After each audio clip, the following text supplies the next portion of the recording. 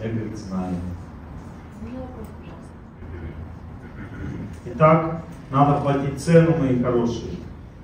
И цена не заключается в том, чтобы кто из вас докажет. Есть женская правда, есть мужская правда. Женщина никогда не поймет, что мужчине надо. Сколько бы он ей не рассказывал. Мужчина никогда не поймет, что женщине надо, сколько бы она на него не обижалась. Человек может сам только понять, что другому человеку надо. Для этого нужно несколько условий. Первое условие, он должен стать самодостаточным. Самодостаточность приходит от Бога, а не от человека. Если ты сам не хочешь стать самодостаточным, тогда Бог тебя заставит с помощью жестокой судьбы. Он оставит тебя одного, разрушит твою жизнь, сделает так, чтобы у тебя никого и ничего не было. И тогда тебе придется полюбить Бога и сдохнуть. Вот я говорю честно, просто и спокойно на эту тему. Мы вечные. Не хочешь полюбить Бога, когда приходит жестокая судьба, значит будет депрессия, которая приведет к раку, там, или еще чему Не думайте, что жить в депрессии безопасно. Каждый день депрессии – это увеличение блоков психических внутри, которые приводят к смерти. Не хочешь жить – помирай. Жизнь исходит от Бога. Человек должен, когда ему плохо, бежать на природу. Бежать добрым людям, бежать в храм. Если он никуда не бежит, значит ему эта жизнь не нужна. Понимаете? Когда человек научился быть самодостаточным, надо теперь, как это, один мужчина мне говорит, Олег Геннадьевич, я не могу без нее жить, она меня бросила. Я говорю, чего вы хотите от меня? Говорит, я хочу, чтобы вы меня научили спокойствию в сердце. Я говорю, сердце, начинайте благодарить, вспоминайте все хорошее, что было в жизни. Если вспоминается плохое, отвергайте. Благодарите Бога за все, что было. И в это время вы оторветесь от этой девушки, которая вас бросила. И у вас появится спокойствие, самодостаточная жизнь.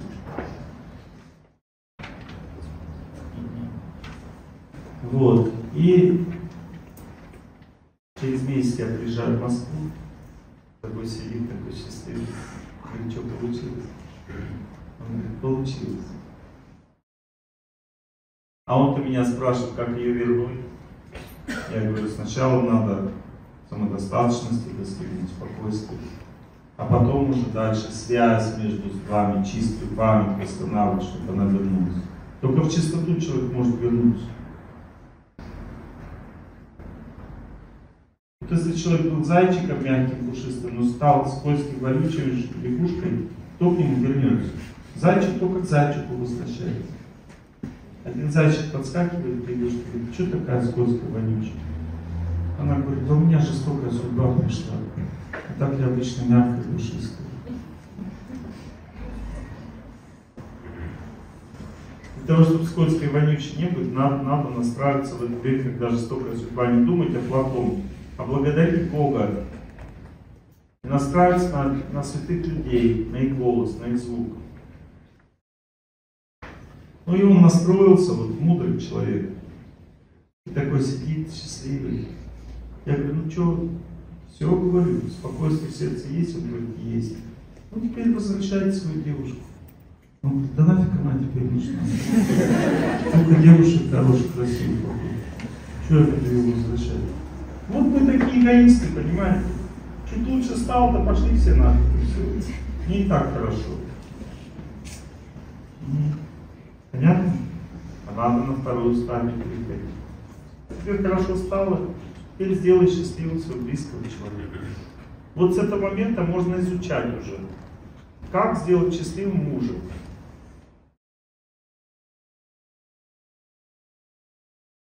Обрети женскую мудрость. Надо понять, что мужчина бывает в зоне скупости живет, бывает в зоне щедрости. И этот переключатель от скупости к женщине, к щедрости женщина делает. Это не мужчина сам переключает себя от скупости к щедрости и наоборот, а женщина его переключает. Как это переключение происходит? Вот она смотрит на него, и она согласна с теми правилами, которые он диктует, потому что мужчина это берега реки, она река. А он ограничивает ее течение. Реке никогда не нравится, что ее ограничивают, но если ей берега расширить, она расплывется и превратится просто в дождевую воду, которая всосется в землю и погибнет. Реке нужны границы. Иначе ее не будет. Вы согласны, что реке нужна граница? Представьте, сейчас взять вот берега, разобрать у реки, что с ней произойдет? Она вот так вот растечется, и все, и не будет реки. Реке нужны границы. А женщина безграничная по природе, знаете об этом? Сколько ей не дай, все мало. Она привыкает быстро ко всему и больше хочет. Это ее природа такая. Берега должны быть очень крепкими, стойкими. А река, если она чувствует, что берега узкие, она бурлить начинает и разрушает эти берега. Мужчина должен раздвигать, давать достаточно течения. Нельзя делать плотину. Она наполняется. Потом у нее есть несколько вариантов. Первый вариант, она обходит плотину. Или она ей пренебрегает, начинает перетекать ее. Или еще хуже, она вытекает из русла и течет в другое место. Если плотина выше русла, то она вытекает из русла. И в другое русло потекла все. Не дают, не дают ей течь. Значит, тогда все, до свидания. Плотина это означает прикрывать желание женщины. Вот мужские желания заканчиваются или нет? Заканчиваются? Заканчиваются. Почему? Ну, потому что так мужчина устроен. Мужчина что-то хотел, хотел, раз забыл. Новое желание КС. Да, ну у него заканчивается, а у женщин желания не заканчиваются. Вот у нее есть какое-то желание, и что с ней только не делай, оно у нее есть и есть. Вот она, допустим, ребенка хочет, и хоть и убей. Вот я, допустим, э, хотел ребенка, что-то не получалось, и у меня закончилось желание. А если бы я женщиной был, у меня бы не закончилось. Потому что женщина, она течет. Это и, женщина рождается для счастья. А мужчина рождается для того, чтобы дарить это женщине это счастье. Вот мужчина сделал жену счастливой, ему тоже хорошо. Он радуется, потому что, ему, потому что она счастливая, дети счастливые, мужчине тоже хорошо. А вот если женщине, если мужчине хорошо, а женщине плохо, ей хорошо, дорогой, не станет.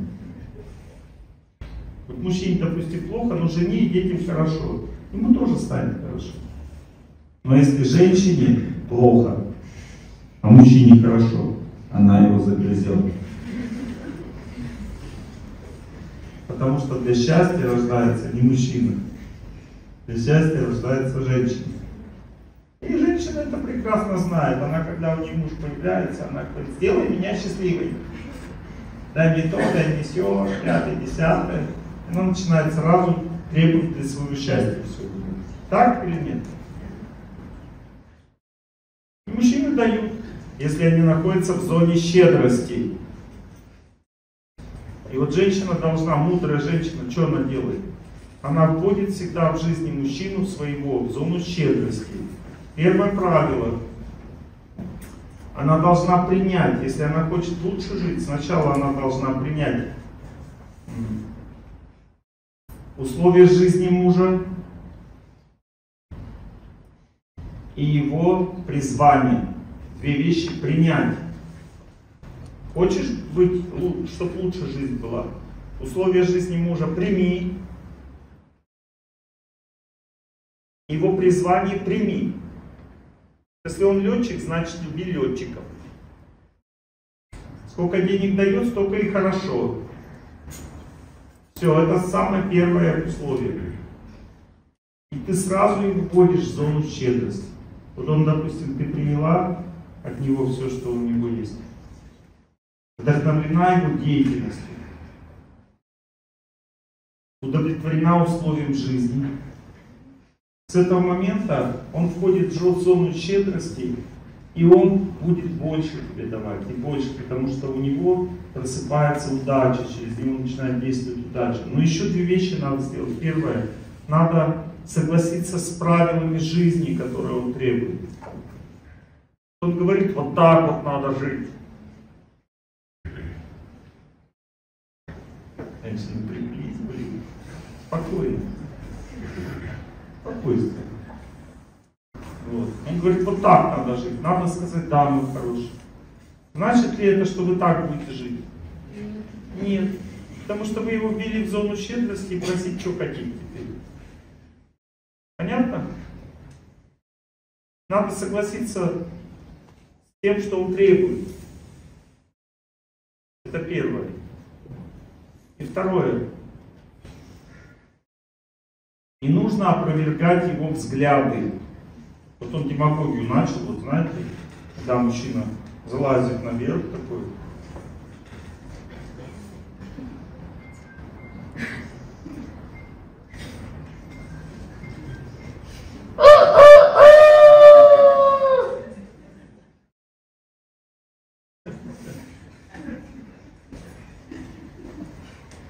Курочки в это время что делают?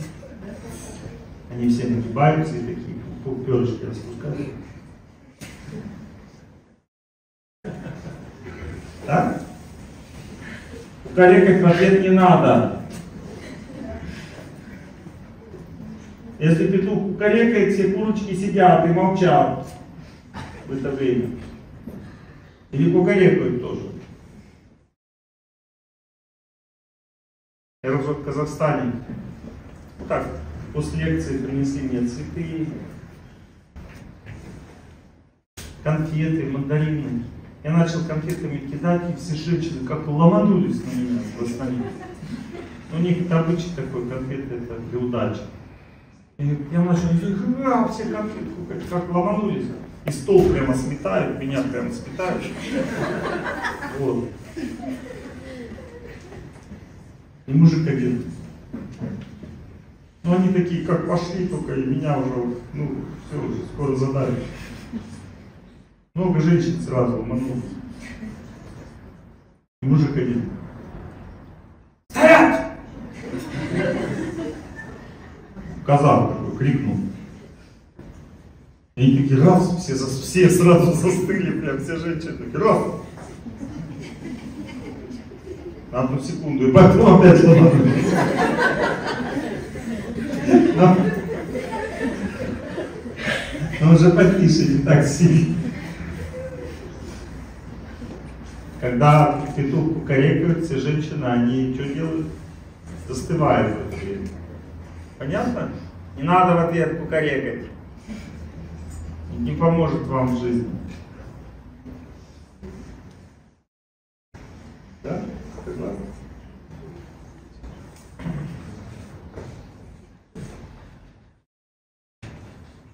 Четыре правила запомнили?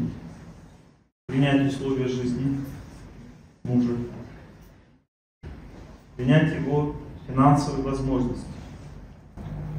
Принять его взгляды и принять его деятельность. Это все надо принять. Как только вы это все приняли, он сразу становится щедрым и готов вам отдать даже свою жизнь. Мужчина может погибнуть за свою жену даже, если она вот это все сделала. Женщины же что делают? Они делают все наоборот, они вводят мужа в зону скупости и потом хотят, чтобы он что-то дал в жизни. Если ты не принимаешь характер, то есть не принимаешь достаток мужа, условия жизни, его направленность деятельности, и его взгляды не принимаешь все это, то он входит в зону скупости и тебе ничего не даст в жизни. Он будет против тебя всегда действовать. Он будет тебе на зло жить. И гнобить тебя будет все время. И тебе с ним будет очень плохо. Женщины запомнили? Итак, мужчину надо в зону щедрости вводить. А женщину в какую зону надо вводить? В зону нежности. Сейчас объясню, что это. Зона нежности, где находится зона нежности? Это когда мужчина никогда не приносит жене беспокойства. Вот он пришел домой, он на работе был львом, а дома стал ягненком. Он ведет себя очень аккуратно, с ней нежно, ласково, моя дорогая. Можно я э, сяду за стол, покушаю? Можно я, я посмотрю? Можно я как бы, посмотрю телевизор? Я тебе не помешаю, если я вот здесь посижу с тобой. Но мы ты мой хороший. Да, конечно, можешь посмотреть, да можешь поспать. Но ты мне не помешаешь. Знаете, мужчины, когда разум у женщины включается, вот маленькая девочка, допустим, вы хотите, чтобы у вас дочка разумная была? Хотите? Если вы что-то ей объясняете в жизни, дождитесь, когда она успокоится, когда она выйдет из состояния эмоций, дождитесь, когда она успокоится разговаривайте с ней подробно. Объясняйте все подробно. Не надо ее ни укорять, ни ругать, ни насмешечки с ней никакие не надо делать. Просто по-доброму, спокойно ей объясняйте. И она станет разумной. Потому что разум у женщины просыпается только нежной, доброй, ласковой атмосфере. Понятно?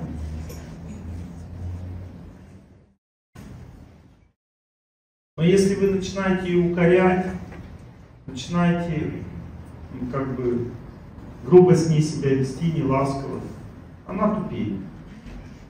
Вот любая женщина, если с ней грубо что-то говорит строго, строго, если говорит женщине, она дуреет, она перестает быть нормальной, у нее психика не выдержит.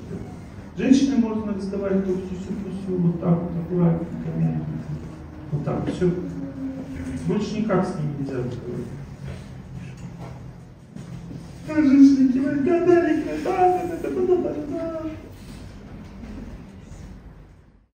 Понятно? Мужчины? Нежно, ласково нельзя. Вот если, допустим, на женщину у нее сразу вот здесь раз замыкает, она такая. Она не поймет, что он хочет от нее. У нее голова даже начинает болеть. Напряжение тут такое возникает. Когда же он замолчит? Так, женщина? А дальше она начинает истерить, топать ногами, пищать, визжать, может поцарапать даже. Поцарапать может потом даже. Поцарапать иногда. Кусать может. Рвать все, там, что у человека, у мужчины на теле, и все рвет. Царапается, рвет все. Топает ногами. Визжит.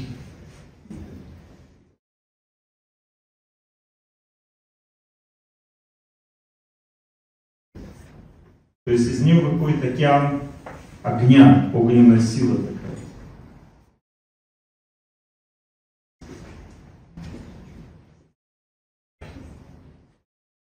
Понятно? Женщина в отношениях имеет огненную природу. И этот огонь никогда не надо разжигать. Вот, допустим, горит огонь.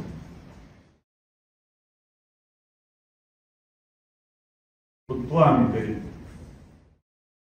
Если, допустим, взять его и так раз, резко с ним обойтись, что дальше будет? Оно откачнется сначала, да? А потом? Потом тебя обожгет назад. Огненная, горячая энергия у женщины, горячая огненная природа. И а, с женщинами надо поэтому очень аккуратно, мягко, нежно, ласково. Ласково это обуздать пламя. ласковое поведение обуздать пламя, чтобы оно спокойно горело. Не надо его возбуждать. У них эмоции начинают. А если иногда вот само по себе у женщин эмоции есть, тогда надо болеть. Вот видишь, женщина, она такая загорелась.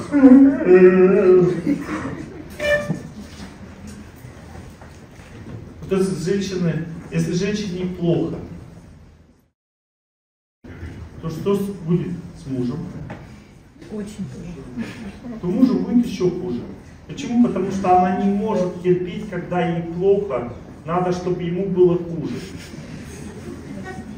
Что женщина родилась для счастья, и она не может жить, когда у нее нет счастья, а мужу, блин, он сидит, ему хоть бы что. Мне плохо, а ему хоть бы что. Значит, что надо делать?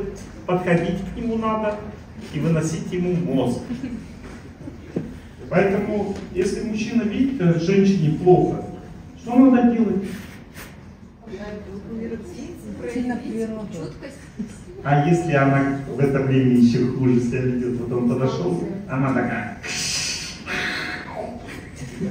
Таким скалистым стать лежите. Скалистым нет, хорошая, надо, надо просто валить.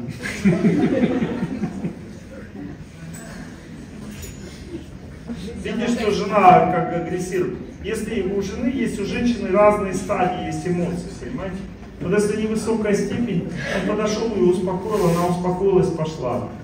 А если высокая степень, не трогай ее.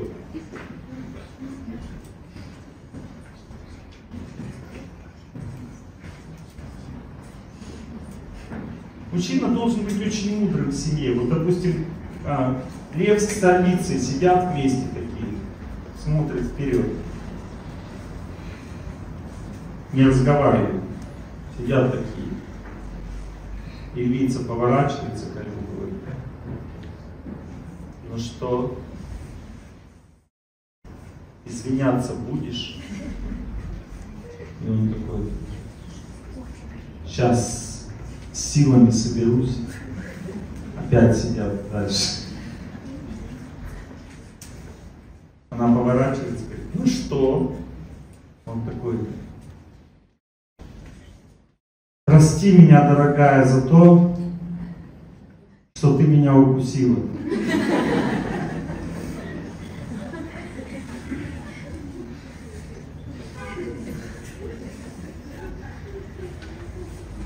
Вот этот мужчина достоин любви.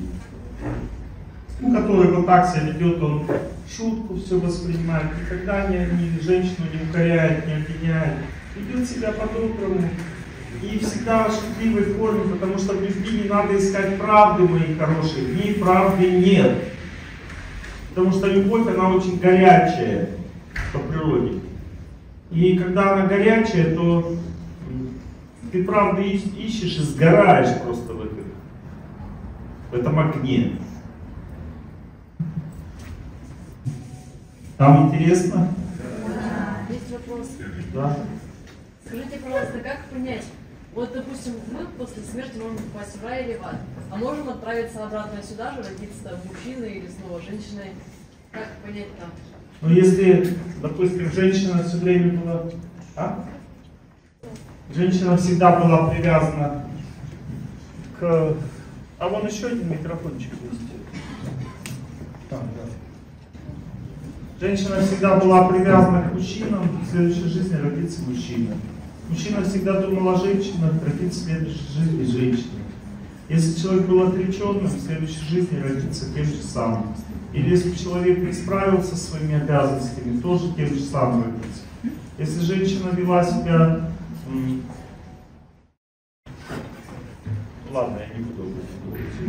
дело. Ну, то есть, э, если человек добрые дела совершал, пойдет в рай. Если перевешивают злые дела, пойдет в ад. Если примерно одинаково, останется на земле. В чем ваш вопрос?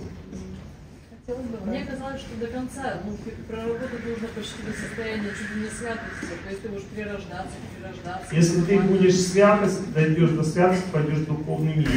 Кроме рая есть еще планеты, где живет Господь со святыми. И там никто не перерождается. Это не рай. Не надо путать. Рай это, это с рая опять падают вниз. Рай это не духовная реальность. Рай это где ну, пятерочники живут. А есть еще святые, которые достигли чистой светлой любви. Они знают, как любить. Цель человеческой жизни это любовь. И не надо дешево жизнь воспринимать. Надо понять, что настоящая любовь, это когда ты забыл про себя, отдаешь жизнь другим, Богу. И без Бога это невозможно, потому что мы без зеркала. Мы можем только отражать. И поэтому требуем, требуем, требуем. А надо брать у Бога и отдавать близкому человеку. Брать у Бога и отдавать близкому человеку. А без самодостаточности это невозможно. Поэтому надо учиться самодостаточности. Надо силу брать не у близкого человека, а у природы, не у близкого человека, а у добрых людей, не у близкого человека, а у Бога. А близкому человеку отдавать, дождаться благодарности и этой благодарностью жить. Я за все, за все тебя благодарю.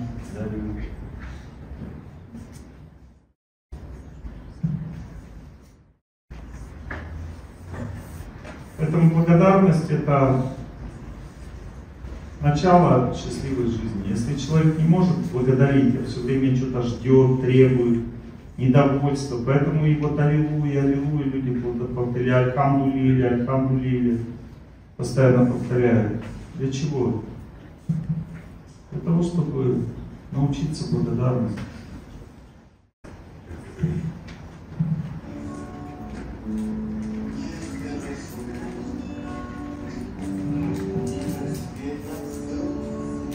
Не, не слышно. Слишком тихо. Ладно, понятно? На вопрос ответил?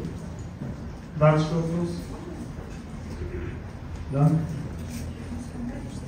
Жена должна взгляды мужа принимать, да? А если в начале брака были один, одни взгляды, а потом муж да, поменял полностью взгляды, религиозный взгляд поменял, и жене, жену, жене требует, чтобы она тоже приняла другие взгляды, как в этом Ну и хорошо, вот допустим, муж требует, чтобы жена поменяла взгляды религиозные.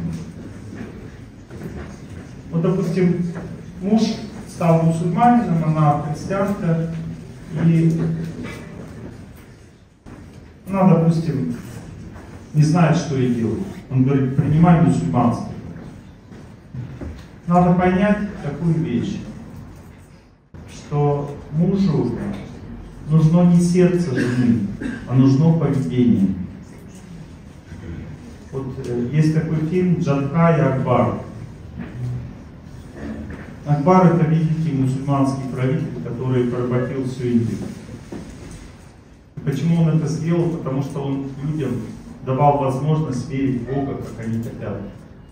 Он просто устанавливал власть и давал всем поклоняться. И он даже взял индуистку жену себе. И ей целая часть дворца выделил своего, а, в которой она жила и была счастлива. И он кушал даже пищу, которую она готовит.